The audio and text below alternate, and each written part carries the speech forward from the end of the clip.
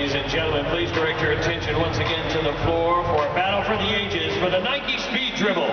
Please welcome Brandon Kessler and Connor Bailey. Both participants will race to make a layup on each end as quickly as possible. Whoever successfully completes both layups first will win a Nike gift bag.